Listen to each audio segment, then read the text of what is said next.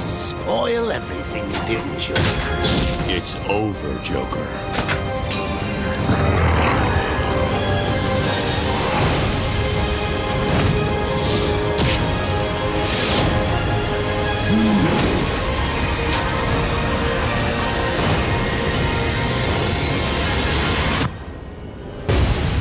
Do you really think you can win?